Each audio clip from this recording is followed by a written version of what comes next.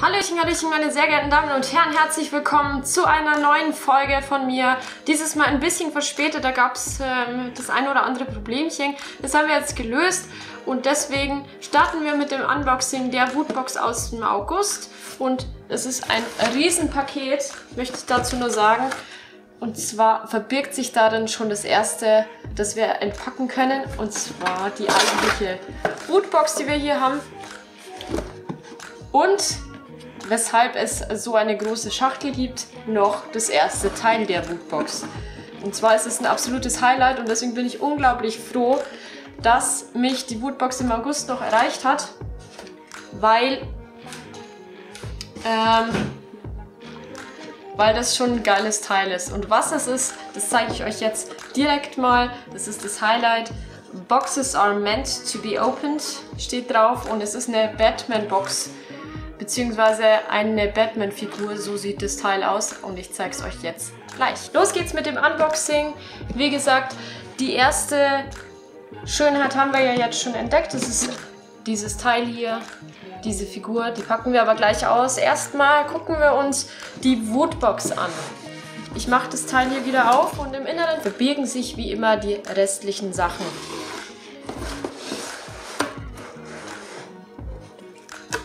Und wir sehen auch hier schon das Design der Woodbox passend zum Thema. Aber erstmal packen wir dieses schöne Heftchen aus. Es ist das Woodbox-Heft, das immer mit dabei ist. Hier sehen wir August 2020. Und wir machen das auf. Und dieses Mal haben wir die deutsche Fassung noch mit dabei. Ich weiß nicht, ob das deshalb kommt, weil ich es ähm, danach bekommen habe oder nicht. Aber ich sehe was, was ihr nicht seht und es ist super cool. Oh mein Gott, ich bin wieder mit oben. Juhu! Ich zeig's euch gleich. Ähm, dieses Mal habe ich es hab nur äh, mit der deutschen Beschreibung dabei. Ich weiß nicht, wie es bei euch war. Ich weiß nicht, ob sie das geändert haben oder ob das jetzt im Nachhinein kommt. Das sehen wir dann im nächsten Video, aber hier sehen wir schon die ersten Teile. Und ich lese es euch mal vor. Also die Woodbox hat natürlich das Thema Knights, ähm, wie man sehen kann. Und da haben wir schon die Q-Fig, Figure, Fig, whatever, wie man das auch immer, Q-Fig, das ist so ein Kackwort, ich sag's euch. Aber trotzdem, ähm, diese Figur, diese Q-Figur, Batman The Last Knight, kostet eigentlich 29 Euro. Und was steht drauf? Diese Last Night on Earth Figur basierend auf der berühmten Comicserie Batman präsentiert Bruce Wayne in einer Arkham-Jacke. Er durchwandert eine zerstörte Landschaft und trägt nur eine Laterne mit dem Kopf des scheinbar lebenden und sehr gesprächigen Jokers. Und ich finde, das passt perfekt zu Halloween. Ich war so scharf auf die Figur und deswegen bin ich so unglaublich froh, dass ich die ähm, diese Box noch bekommen habe, weil die Figur ist schon geil. Und ich zeige sie euch jetzt auch gleich mal. Hier ist das gute Teil und wir packen es jetzt aus und ich bin so, so, so, so gespannt, weil ich finde die so geil. Natürlich, wie immer, sehr vorsichtig. Ich muss erstmal gucken, wo ich die aufmache. Wow, man kann die hier vorne aufmachen. Da ist so ein... Geil. So sieht's aus. Man kann es aufmachen. Hier sieht man es nochmal in groß. Also da ist so ein Klettverschluss dran. Und was wir haben da noch was in Groß Batman. Und da haben wir noch was draufstehen. Caution. Warte, ich muss mal kurz umdrehen. Known to cause joy in humans. Steht drauf, sehr cool. Und ich glaube, hier können wir es jetzt aufpacken. Das machen wir jetzt auch. Oh mein Gott, ich bin so aufgeregt. Oh, Baby. Bisschen Social Media Werbung ist mit drauf. Hier.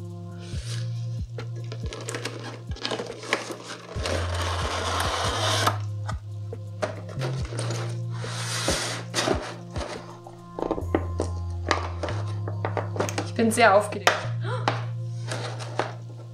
Ich habe ein bisschen... Uh, Baby, ich sehe dich. Oh mein Gott, das ist so eine geile Figur.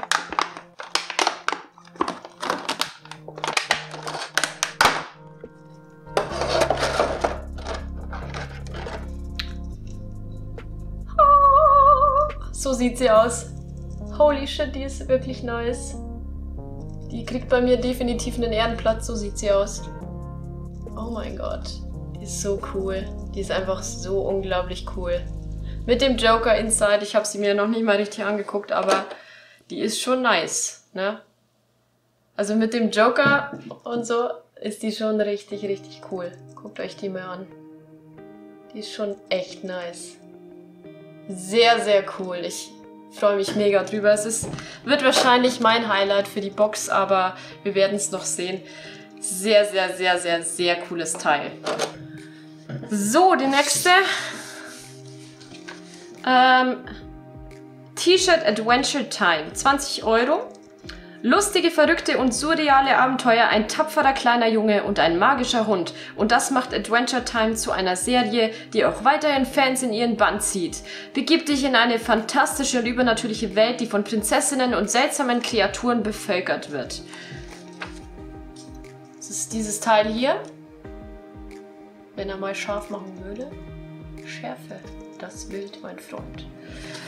Kostet 20 Euro und so sieht's aus. Adventure Time. Ich glaube, ich habe die Serie mal ange angeguckt, aber nur angeschnitten. Ich bin mir aber nicht sicher. Kennt ihr die Serie? Ja, das ist jetzt blöd. Das kriegt man sie so nicht auf, ohne dass man es kaputt macht. Das ist ja doof. Ich glaube, ich schneide es dann mal auf. Kleinen Moment. Sehr coole Farben auf jeden Fall. Oh ja, das wird mir passen. Das ist, glaube ich, das erste S-T-Shirt, das ein bisschen kleiner ausfällt. Ähm oh yeah! So sieht's aus. Sehr, sehr cool. Wir werden es nochmal sehen, wenn ich es dann anhab. Aber ja, natürlich kenne ich es. Jetzt. Das erkennt man. Das kennt man. Ja, ihr kennt es auch, oder? Wer von euch kennt's? Sehr, sehr cool. Auch ein sehr schönes Teil. Auch hier wieder ähm, schöner Stoff. Wie gesagt, ist die Größe S. Original, wie immer. Und ja, packt man zur Seite. Holen wir uns das nächste Teil. Keyford Ruf der Achonten. Eine der aufregendsten Veröffentlichungen in diesem Sommer ist das neue Kartenspiel von Richard Garfield oder Richard Garfield, dem Schöpfer von Magic the Gathering. Eine Karte allein hilft dir nicht, um zu siegen, aber in Kombination mit anderen könnte sie die Niederlage deines Gegners besiegeln. Um deinen Erfolg sicherzustellen, musst du drei Schlüssel vor deinem Feind schmieden. Bist du bereit, dich der Herausforderung zu stellen? Hey, nice! So sieht das Teil aus. Ey, geil. Da bin ich ja gespannt. Holy shit, ich liebe Kartenspiele, habe ich das schon mal erwähnt. Auch wenn ich Magic so nicht gespielt habe, ich kenn's. Ich habe es nicht gesammelt, aber ich kenn's, fand's auch nice. Aber Kartenspiele sind voll mein Ding und ich bin gespannt, wir packen es mal aus.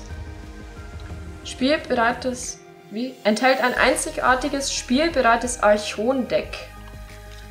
Okay, es ist so ein typisches Deckspiel. Ähm, wie mache ich das am besten aus? Entdecke eine Welt, in der das Unmögliche möglich ist. Das Archon, ich weiß gar nicht, ob ich es richtig ausspreche, Deck in dieser Schachtel unterscheidet sich von allen anderen existierenden Decks. Mit seiner eigenen Kombination aus Karten bietet dieses Deck Strategien, die nur, die, die nur du meistern kannst. Ein Deck pro Spieler genügt, um Keyforge zu spielen. Regeln gibt es online. Nice. Dann machen wir das doch mal auf, oder? Wäre ich voll dafür.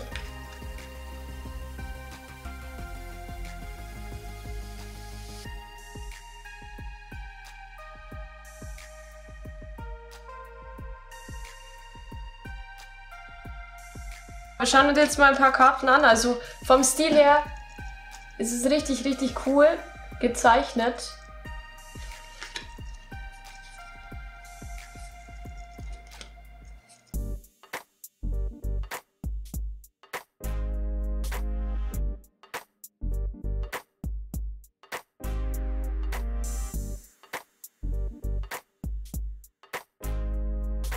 Es ist schon echt cool. Also vom Stil her Richtig, richtig cool gezeichnet.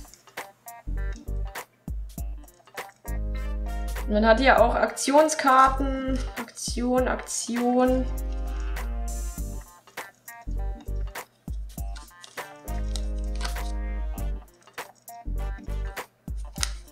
Da haben wir ganz viele von der Sorte. Also ich werde es definitiv mal antesten. Bin sehr, sehr gespannt. Aber vom Stil her echt richtig, richtig cool. Vom Design her richtig cool gezeichnet. Und nice. Finde ich gut. Finde ich cool. Gefällt mir. Da haben wir auch noch die Deckliste mit dabei. Da stehen dann die Karten im Einzelnen mit drauf. Und ja, sehr, sehr nice. Richtig cool. Kommen wir zum nächsten Teil und das ist auch schon das vorletzte. Minecraft-Item 1 von 3 Produkten wird zufällig versendet. Kostet, ach ja, das Kartendeck kostet übrigens 10 Euro. Keyforge, 10 Euro. Ähm, Minecraft-Item, das kostet 5,99 Euro. Und Mann, oh Mann, oh Mann. Ich hätte gern den Egg Cup und was auch immer das Torst Craft Critter. Ich weiß es nicht, was da steht. Aber das wäre schon richtig nice gewesen. Das, das Teil habe ich leider nicht bekommen. Ich habe was anderes bekommen, aber wir werden es gleich sehen. Freue dich über Magneten, einen Eierbecher oder Aufkleber der berühmten und unverzichtbaren 3D-Welt Minecraft.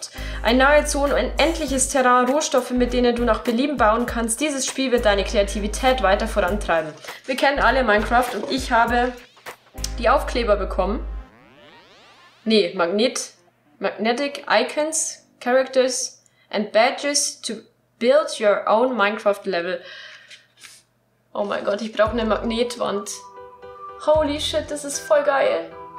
Finde ich irgendwie auch richtig nice. Werde ich definitiv verwenden. Ich bin so ein Killer. Ich werde mir das schön in mein Häuschen bauen und da ist sogar was für Halloween mit dabei. Ich war gleich, ich habe früher immer bei Minecraft diese Dinger gebaut und habe sie mir überall hin platziert. Das ist so nice. Mit Minecraft kannst du einfach nichts verkehrt machen. Es ist einfach, es ist einfach so.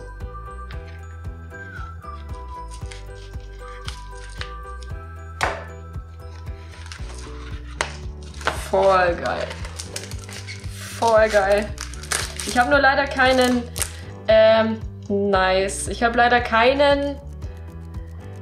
Ah, ich habe leider keinen Kühlschrank, bei dem das funktionieren will, glaube ich. Aber ich werde mir da definitiv so eine Magnetwand holen. Wo ich drauf rumspielen kann mit den Dingern. Weil das ist mega geil. Ich feiere das übelst. Kannst du nicht sagen. Ich finde das, das, das ist wirklich auch richtig, richtig nice. Also da hast du im Endeffekt diese Magnet ähm, Stücke drin und die kannst du dann im Endeffekt rausbrechen. Dann, oh, das sind sogar mehr. Geil. Nice. Hier haben wir auch noch was. Guck dir das an. Ich kann mir ein richtiges Haus bauen.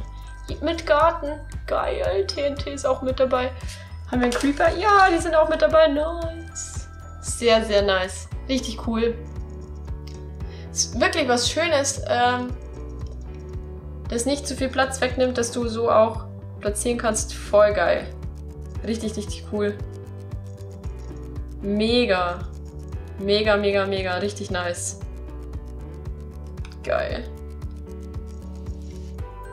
Ist nur, was ich ein bisschen schade finde, ist, dass wenn du die rausbrichst, dass ein bisschen was also wenn wir das mal angucken, der nimmt da schon ein bisschen was weg von der Figur, aber auch das stört eigentlich nicht. Also es ist ein bisschen doof ausgeschnitten, aber das macht eigentlich nichts. Weil man erkennt ja trotzdem noch, was es ist. Aber trotzdem sehr, sehr, sehr nice. Richtig cool. Das ist wirklich auch eins meiner Highlights aus der Box.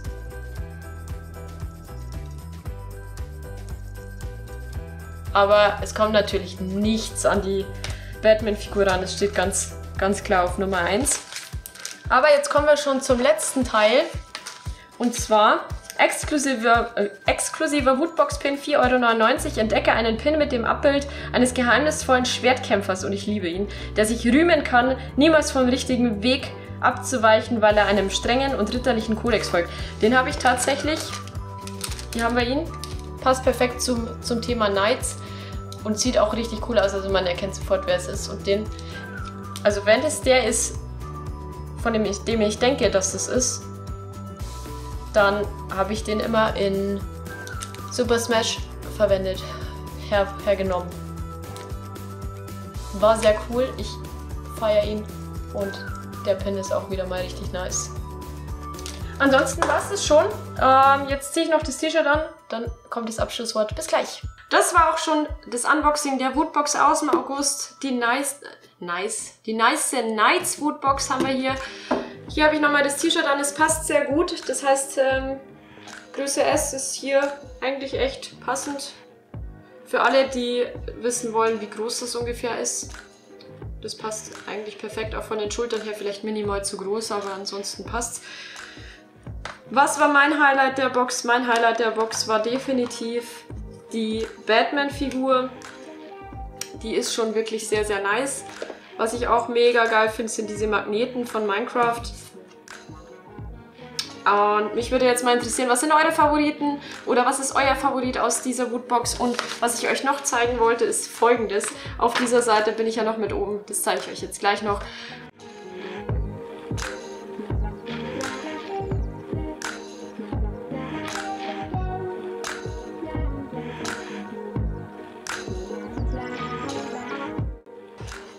Auch diese Woodbox hatte wieder mehrere Highlights zu bieten. Ich finde es immer noch nice. Sie lassen sich immer wieder was Neues einfallen. Und ich bin sehr, sehr gespannt auf die nächste Box und auch auf die Oktoberbox, auf die Halloween-Box. Bin ich ultra gespannt und freue mich jetzt schon mega drauf, diese Boxen mit euch auszupacken und auf eure Kommentare, auf eure Meinungen. Ich fand's nice, ich hoffe ihr auch. Wenn ihr irgendwas noch sehen wollt, gerne in die Kommentare schreiben, können wir weiterhin ausbauen wie wir die Videos aufnehmen und so weiter und so fort. Aber meine Highlights sind definitiv diese Minecraft Magnetik, Magnete, Magneten, diese Minecraft Magneten und diese Batman-Figur, die ist schon wirklich richtig, richtig nice. Ich wünsche euch noch einen schönen Abend heute, genießt euren Tag noch und wir sehen uns im nächsten Unboxing wieder oder vielleicht im Stream oder vielleicht auf Instagram, auf meinen Stories, in meinen Stories. Und ja, bis dahin macht's gut. Ciao, ciao!